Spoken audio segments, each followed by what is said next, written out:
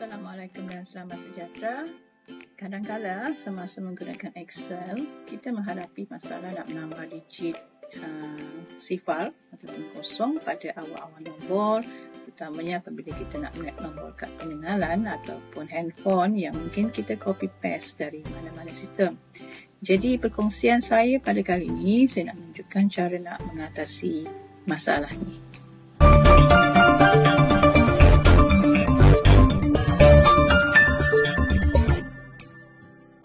Okey, sekarang kita buka Excel.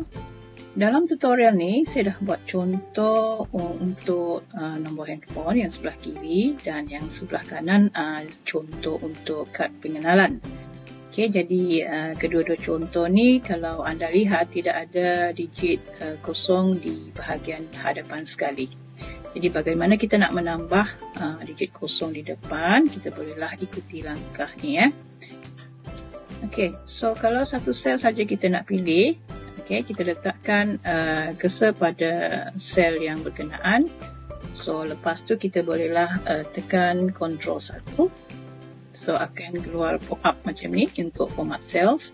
Okay, kita pilih custom yang paling bawah sekali dan di sini kita typekan okay, simbol pengikat kata ataupun kadang-kadang orang panggil simbol uh, pembuka kata, penutup kata, lebih kurang macam itulah namanya.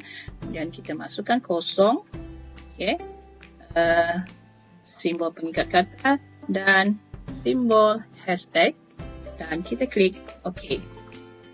Okay, so nampak anda dah uh, nombor uh, digit kosong tu uh, dah masuk di dalam uh, nombor handphone ni.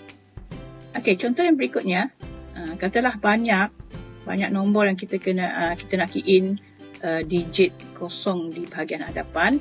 So um, tak mungkinlah kita nak me, uh, membuatnya satu persatu ya katakanlah beratus-ratus atau beribu-ribu. Jadi untuk memudahkan cara tu kita just klik um, kolom yang kita pilih. Okay, dan uh, langkah yang sama tekan control 1 okay, control 1 Okay, pop up keluar, kita pilih custom. Dan kita type simbol pengikat kata, kosong, simbol pengikat kata, dan simbol hashtag, dan tekan OK. Okay, so anda dapat lihat ya, di sini semua uh, digit kosong telah pun masuk di dalam senarai kad pengenalan ni. So kalau anda rasa perkongsian uh, saya kali ini bermanfaat, bolehlah like dan share video ni dan jangan lupa subscribe. Okay, thanks semua.